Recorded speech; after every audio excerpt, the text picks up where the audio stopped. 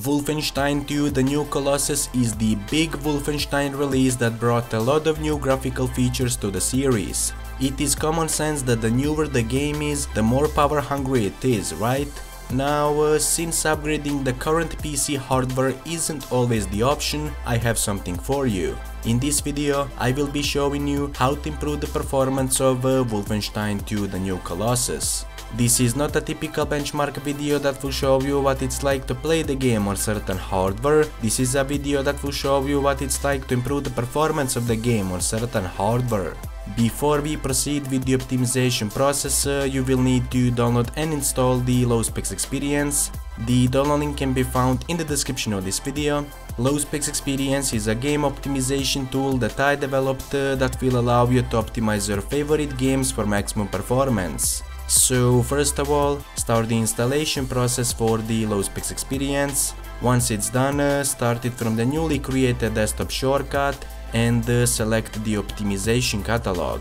From this drop down menu select Wolfenstein 2 the new Colossus and then uh, press load the optimization package. LowSpecs Experience will now automatically check if the game version currently installed is supported by this optimization if it is, press OK and the optimization control panel will load. When the optimization control panel loads, uh, simply select the method of optimization and the resolution you would like to render your game at. This is something you will need to experiment on your own in order to see what works for your system the best. Once you decide which optimization method and resolution you are going to use, press the execute optimization button and then uh, start your game. Also, if you are not satisfied with what you see, you can always restore your game to default settings by choosing the restore default option. That's all from me for now. If you like what I do, please be sure to like the video and subscribe for more similar content. Anyway, I will see you all next time.